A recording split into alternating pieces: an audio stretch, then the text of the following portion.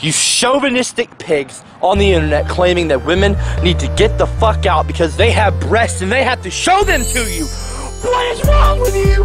Let me tell you something. Just because someone has looks on their chest, it does not mean that they're obligated to show you them online.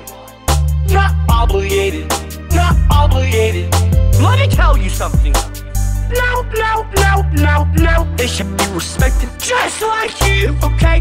Everywhere I go, I see women being abused on and hated on. You're chauvinistic pigs on the internet. Let me tell you something. There's no way to get into a woman's shirt. Tits to get the fuck out. Get the get the fuck out. Uh, uh, uh. Get the fuck out. There's no way to get into a woman's shirt. That's not what you say.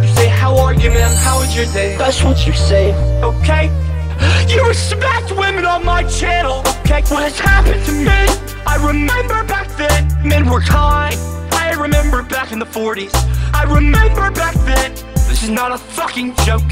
I want respect for teachers. I want respect for women and everyone across the world. And I want it in a non-violent, non-disrespectful way. That's not what you say. How are you, ma'am? How's your day? That's what you say. Okay? Non-disrespectful. What has happened to me? I remember back then, men were kind. I remember back in the 40s. I remember back then. This is not a fucking joke.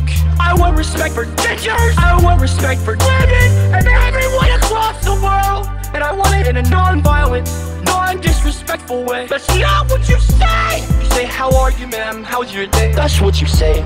Okay? Non-disrespectful way. Eh?